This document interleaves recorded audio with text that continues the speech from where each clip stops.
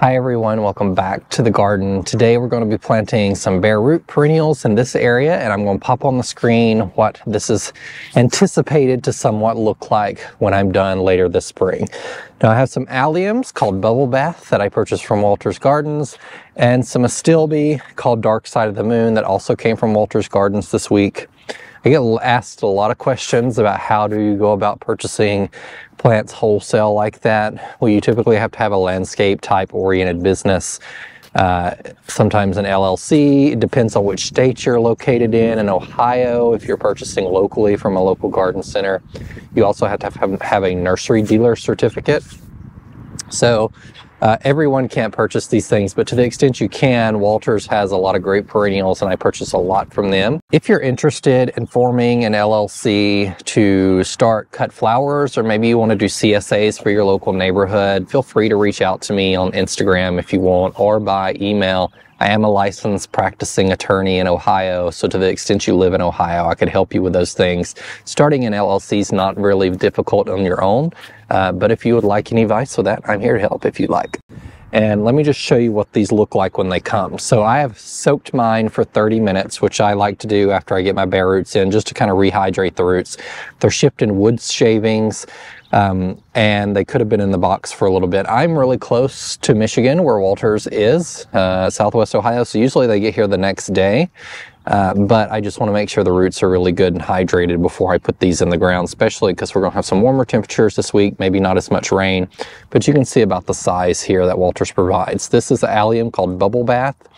It is similar to like the Millennium alliums that you've seen that bloom during the summer, but it can get pretty tall and the blooms on it are actually really large. And so it resembles more of a bulb type allium.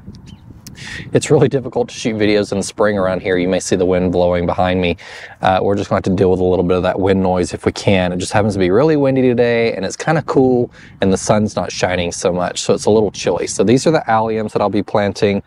And these over here are the astilbe, dark side of the moon, which is an interesting variety because it has dark foliage, really dark purple, almost black, depending on the sun. As it says, it can take full sun.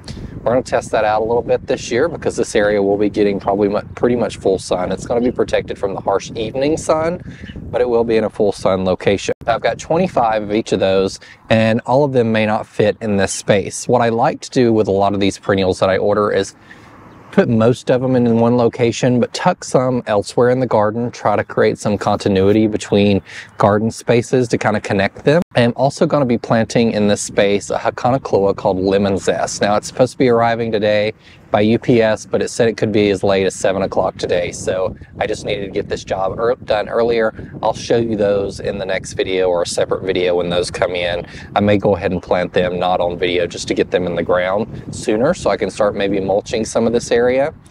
But I ordered some other plants from other online shops. This one come from One Green World and it's called Cherry Berries Wintergreen. Now over winter, I was looking and over the past few winters really, I do a lot of plant searching to find some interesting varieties that you can't really find locally. Uh, and that a lot of people don't carry. And so I was looking for ground cover specifically, and this is a ground cover called Wintergreen. The berries are edible and they're supposed to have that wintergreen flavor but this one's called Cherry Berries. It only gets about six inches high. It can take part sun to dappled shade. So we're probably gonna put this kind of over in this location next to these boxwoods I showed you in the last video, where it kind of kind of creep and crawl uh, along the ground over time. Uh, One Green World, I'll put a link to where I got this below because there's not a whole lot of places that sell it. Shipping what did cost more than the plant. Shipping plants these days is really expensive and this was incredibly well packed. They actually put a dowel in the box through the plant so the plant couldn't move around in the container and it was wrapped in plastic. Really, really good shipping method. I don't know that I've seen with any other uh, shippers or providers before. This plant is also really winter hardy. So all the way down to USDA zone 4, which is negative 30 degrees Fahrenheit, negative 34 degrees Celsius and it spreads slowly, like I mentioned, as a ground cover. So it's continuing to produce blooms right now because it's spring. You can see the buds right here at the front of it. let's just get a close up there. I just really love it. It gives me a very Christmas holiday feeling, but it'll be like this kind of throughout the year outside of the season. What's interesting about this variety is its berries are supposed to be like twice as large as the common wintergreen uh, ground creeper. So I'm excited to get this one in the ground. Probably, like I said, put it around here. You'll notice I put some stakes in the ground right here and behind me. I still have some shrubs coming in. Actually, the UPS guy went just by, so I may be able to show you before I finish this video what the Hakonechloa is going to look like. And I may wait a minute just to see if he drops off these plants. That way I can space them out. One thing I want to make sure is I have kind of a even mix in here, but let's get back to these stakes. These stakes are for potential shrubs that I'll be getting in May. And so I want to make sure I don't plant a whole lot of perennials directly around them, leave enough space uh, and those will be in a separate video that I'm creating. I'm waiting for a nice day where I can just sit down outside and do that video and so I didn't want to fill up the space with all the perennials that I got in and not have space for those tiny shrubs that I'm getting in in May. So you'll see I've got one here, one back there, one here between these uh, Fire Chief Arborvitae right here. And we'll just leave probably the stakes in the ground. That way I don't forget. It won't look so great for the next month, but at least it's a reminder that I intended to put something there. All right, sun's finally coming out, so I might be able to take this cap off uh, if it gets a little warm. Talk about perfect timing. That took like five minutes since I saw the UPS guy. So this is a brand new variety of Hakonechloa called Lemon Zest. Uh, I saw it last year, 2022, at Cultivate in Columbus, Ohio, and I had to have it. Well, I tried contacting the nursery to see if they could send me some directly that developed this variety. They didn't have any they could send. I contacted Great Garden Plants to see if they could add some and or order some and add it to their lineup online. And the nursery that bred it, I think it's called Briggs, wanted an absurd amount minimum number of trays. So if you're looking at buying wholesale plants and you have a company that you can buy them with, that's one of the things that become an issue as some companies require a minimum number and some of that number is outrageous amounts of trays that you'd have to buy which would make it worth it for the home gardener. So you have to be kind of selective and there's still stuff that you may not be able to buy uh, as someone creating like CSA bouquets or something like that in your backyard. But uh, I did find them at Wayside Gardens. Wayside Gardens, I think, is a division of Park Seed. So if you grow any plants from seed, uh, you may have ordered seeds from Park Seed before. They have lots of nice varieties. But the interesting thing about this variety is it is so bright. So the common, there's Hakonechloa macro, which has this limey green color. There's Hakonechloa all gold, which is a gold color. There's one called Aureola, I think it is. It's like A-U-R-E-O-L-A or something similar like that. And it is what is mo the most popular variegated type variety of Hakonechloa. And this one right here is super bright. So you can see the variegation. Let's see if I can hold that up pretty closely, how bright that is. These are rooted really well. I accidentally, one of them fell out of the pots and you can see it all the way to the bottom here. Very nice, not crowded or anything. So they've been grown on really well. I paid, of course, full price for these. I didn't have a link or anything for you. Um, so you can get a discount. And I think they were I want to say 15 to $20 a piece, which is kind of a lot. So I've got over a $100 worth of this stuff sitting here. But because these are perennials and they spread, you can actually see this one right here is already spreading to the side of the container here. You can, of course, divide these in years to come. So that's why I got six, a good even number to spread around these boxwoods down here. They are, of course, are part shade plant. Now, my part shade, I've had issues with when I see a plant that says part shade, I tend to want to put them in more shade than they want. So I'm going to try and stick these. They will get pretty much a lot more sun here. If they start burning, I may have to move them somewhere where they get a little more shade. But I've been trying to, over the past few years since I started garden, gardening, give plants a little more sun than I think they need because typically they can take it and they will oftentimes perform better. You know, I just told you I removed all of those wee white hydrangeas around the spruce that was taken down the other day. I removed those because they're they're part shade plants as being uh, hydrangea arborescens, but they did not perform very well for me. But in a nice full sun location or part sun location up here, they tended to burn really bad. And I just didn't like how the blooms transitioned on those. So You just have to try plants in different locations and it might surprise you depending on where you're at in the United States, how they perform. So we're gonna test these out in more of a part sun location is what I'll call it. Um, they'll get, you know, morning sun this way, kind of be hidden under these boxwoods, and then they'll be protected from the very hot afternoon sun. This extra sun may encourage them to bulk up a little quicker, and that will allow me to spread them around the garden a little more because I'm really excited about this variety you are probably not going to be able to find it locally. Uh, I would be surprised. It may be randomly distributed throughout the United States, but I think Briggs is located in Oregon or Washington. So unless you're in one of those areas that is connected to the nursery regularly, um, this isn't a plant you're probably going to be, get, be able to get unless you order it online. I don't often see garden centers carry Hakonoklo anyway. I think it's kind of odd. It's a beautiful perennial, nice grassy texture that moves with the wind.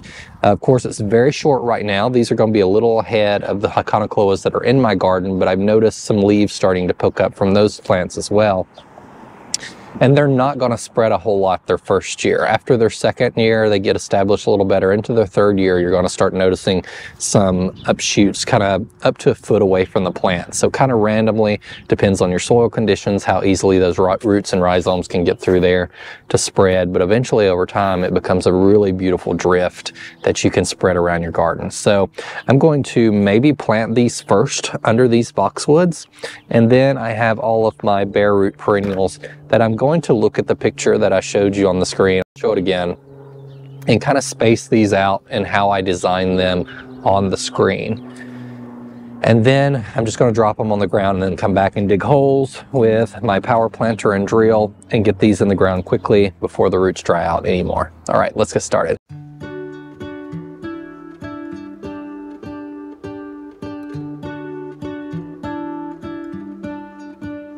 What if the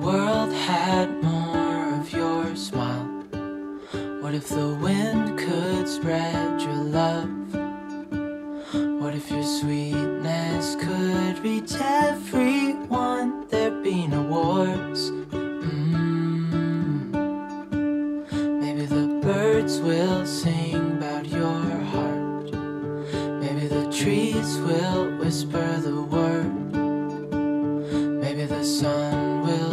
spread your joy to the ones who lost their hope.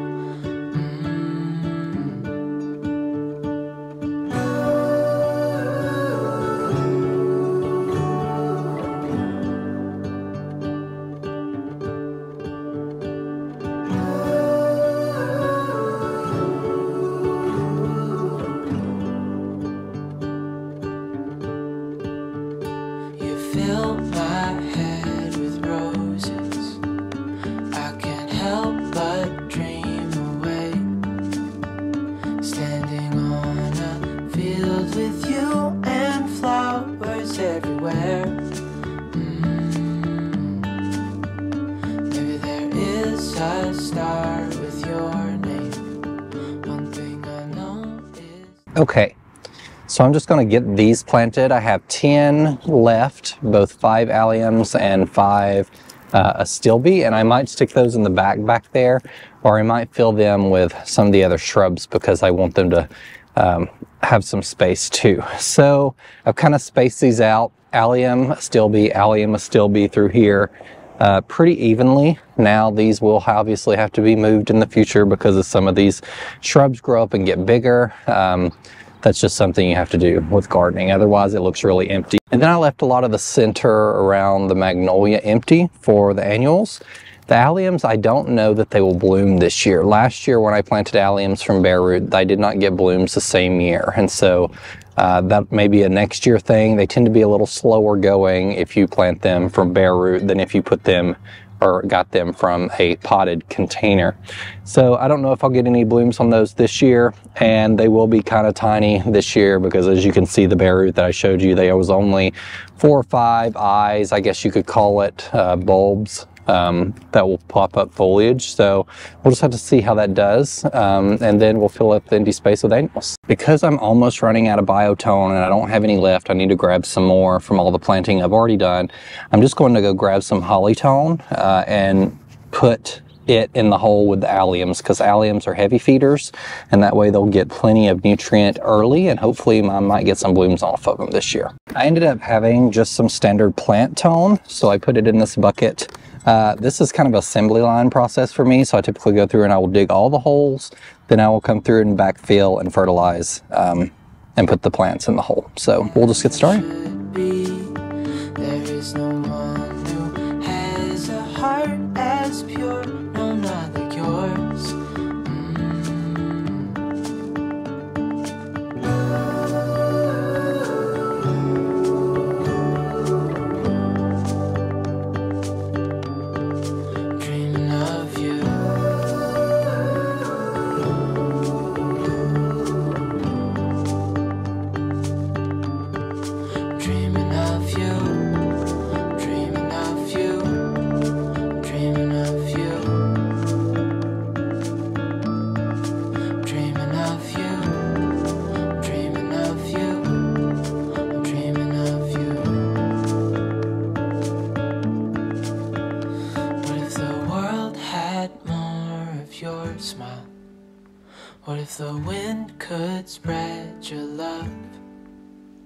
What if your sweetness could reach everyone? There'd be no wars.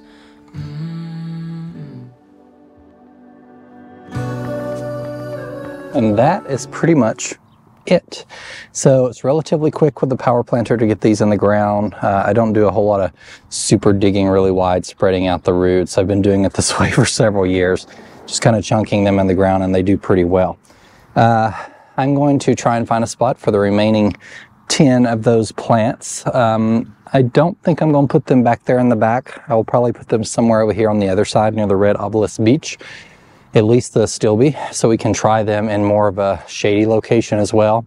The alliums I will probably stick in the backyard somewhere. I really love alliums because I don't really have this problem, but if you do, they tend to be deer resistant, rabbit resistant. They do give you some blooms late in the summer. It's a different bloom. It's like one of those firework ball shaped blooms. And after that, it's kind of a, it holds its blooms through winter, a lot of cases. Uh, and then before that, it's kind of a green, leafy, um, grassy texture in the garden, which I really love. So I'm going to find a place for the rest of these and then I think I'm going to call it a day. I may go run get some mulch and spread some mulch tomorrow, some more mulch. I'm going to wait probably right here um, to spread mulch because I still need to plant those plants in uh, May. I may do part of the bed that's already completed up to here where these perennials are. I may go ahead and spread kind of around where I planted the perennials I want to stay off of them because I don't want to be stepping on them so much, but um, I'm glad this bed is almost approaching completion. Thank you guys for following along. And remember, in a world full of hate, be a light. Take care, everyone. Bye.